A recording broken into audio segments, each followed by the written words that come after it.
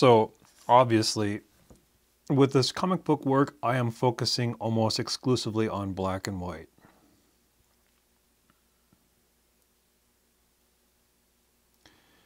And there's a specific reason is that color is color is very very attractive. Color is very seduct color is very seductive and it it entices. That's why fruit is so brightly colored because it's sweet and enticing.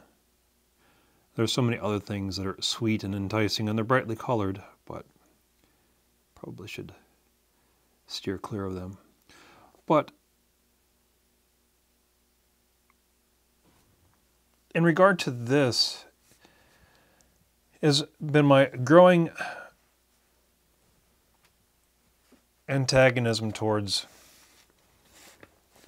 digital this and digital that.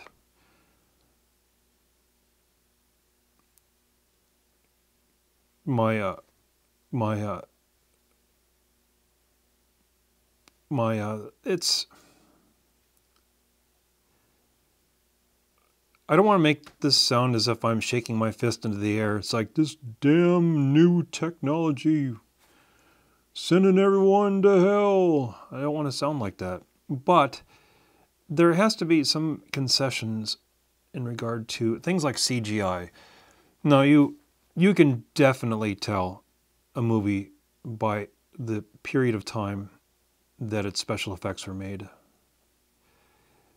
Uh, Battlestar Galactica, the original TV show from the 70s, you can definitely tell that that's from the 70s. And you look in regard to to the uh, remake,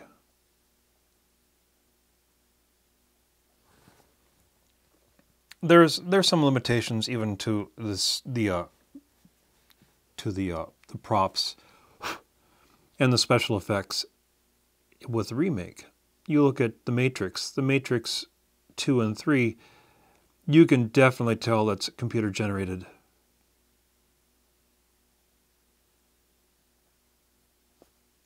An awful lot of that is obviously computer generated. And you can like the the one where one scene where Neo is fighting all of those Agent Smiths, you can you can see the the elastic nature of the the computer generated figures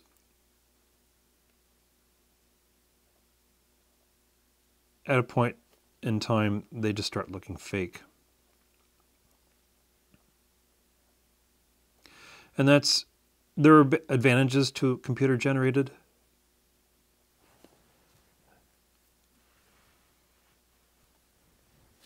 it's quicker.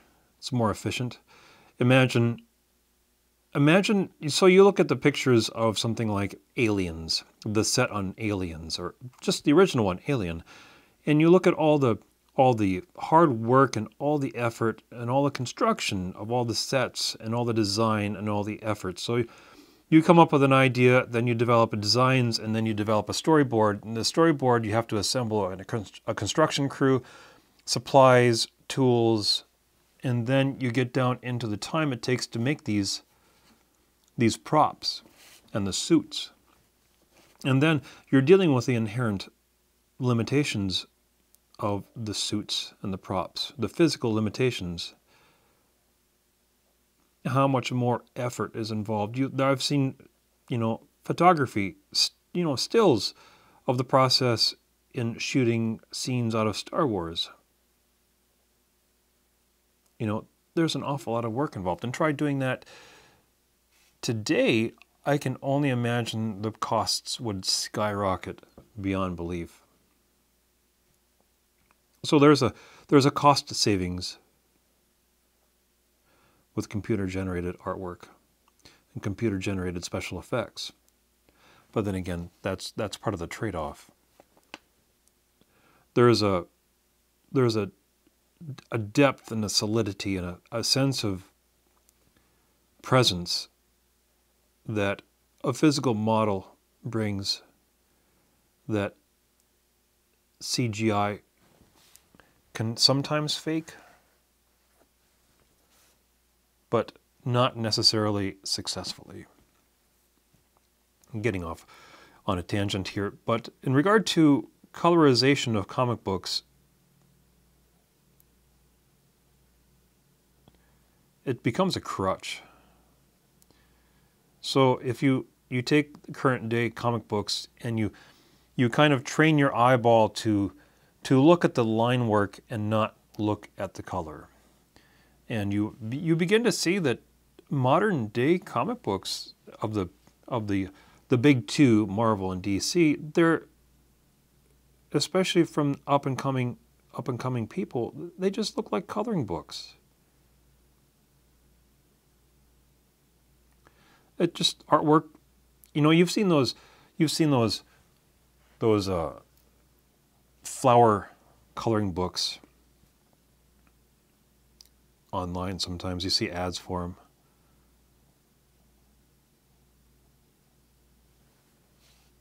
you know, make these these pretty flowers look whatever color you want.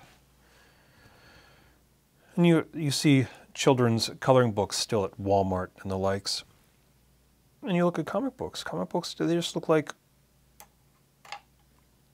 overglorified coloring books. But they have these these awesome colors that are digitally put in place. And not to discount the the efforts to digitally color something, you still need to understand color science, composition, and whatnot. But still, the foundation of the artwork is still going to be the line work. Oops.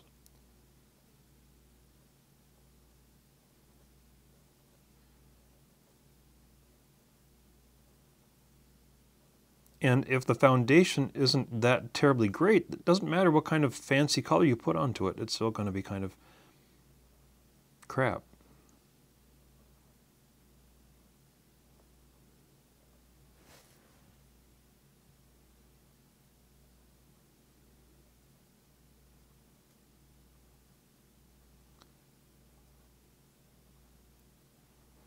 But color seduces, and people like colored things.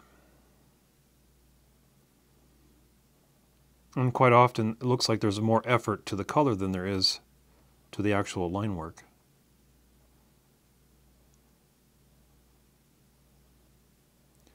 And this is why most of this right here is going to be black and white.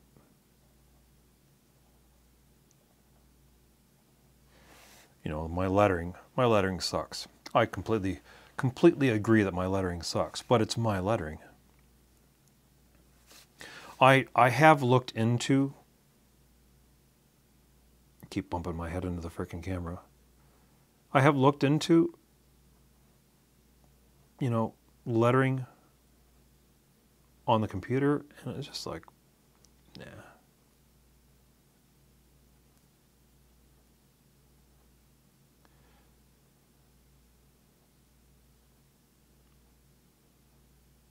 And I'm not saying that color coloring shouldn't be digital. And I'm not outraging against CGI. Is it's again, it's a matter of convenience. Sometimes because it's convenient doesn't mean it's better. Because it's cheaper doesn't mean it's better. The the effort that you're saving and the costs that you're saving should go into better story. And I'm not, I don't see that very often in modern movies. The, it just, it doesn't translate into, into a better product overall. It's a flashier product. It becomes more disposable because it's it's less expensive to produce. People are going to produce more of it.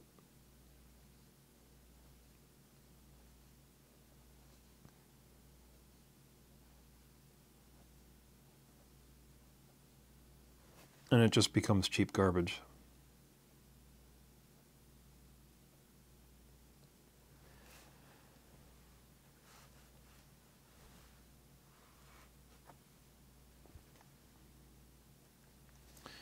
And it's just,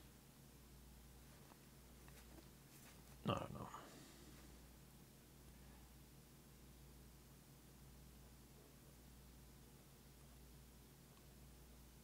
My that I suppose that's what I'm getting at in regard to this ramble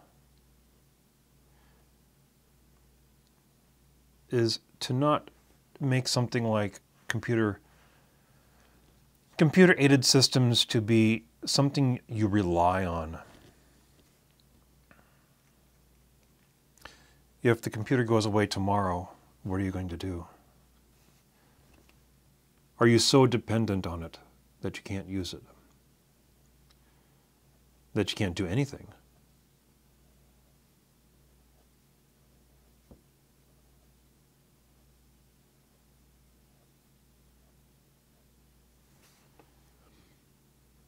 Are you going to be so dependent on it that you become helpless, crippled,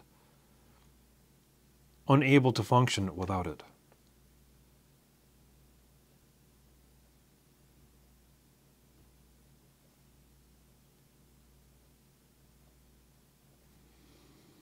And I can I concede my limitations on dealing with computers, but then again, my computers are. I think, in the grand scheme of things, my computers are about as equal to a stone tablet as anything else due to their age.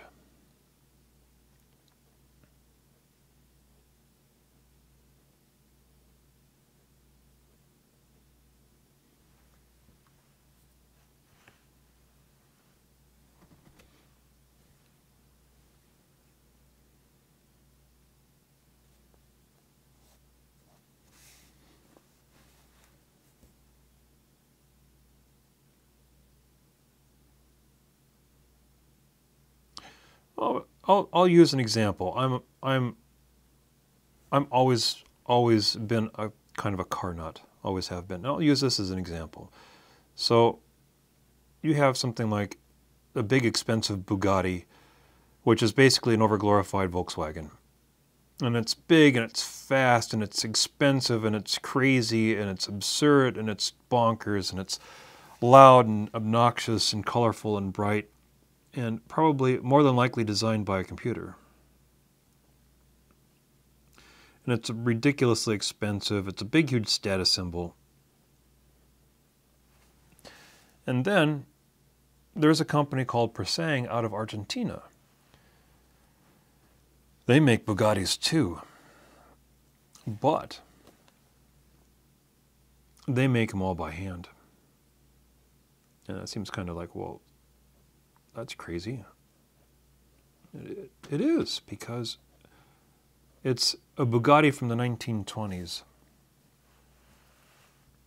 And it's a perfect, perfect distillation of the difference between CGI and non-CGI. Is you have this completely hand-built car that's from the 1920s. It's got cable-operated brakes, and it's got basically bicycle tires for for wheels because, you know, 1920s. No ABS. No traction control. Bare bones and minimalistic, as opposed to something that's got multi-processor fuel injection, all-wheel drive, all the gadgets and gizmos that modern society flourishes on.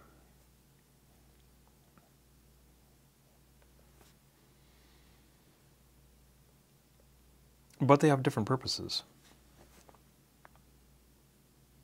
They still accomplish their function.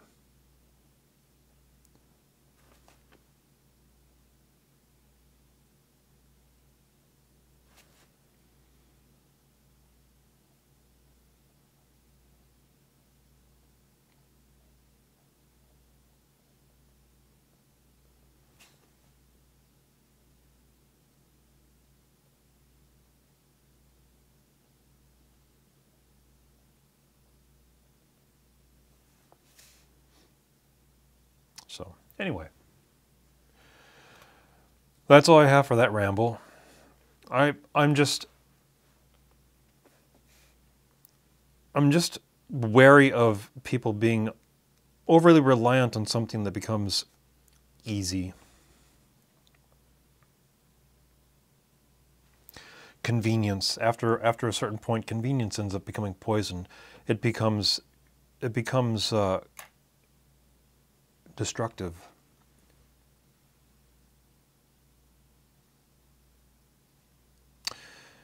Take it take it with this. So, you know, when people go up to the space station and they hang out in the space station for a while, when they come back, they look all exhausted and dejected and just kind of fried and burned out. Well, that's because they're not suffering from the effects of gravity. And so their muscles kind of atrophy and their bones kind of kind of weaken because they're not pushing against gravity. And if you don't have something to push against, some effort, you kind of weaken yourself. So just be wary about reliance on something that could potentially weaken your artistic efforts. Anyway, that's all I got. See ya.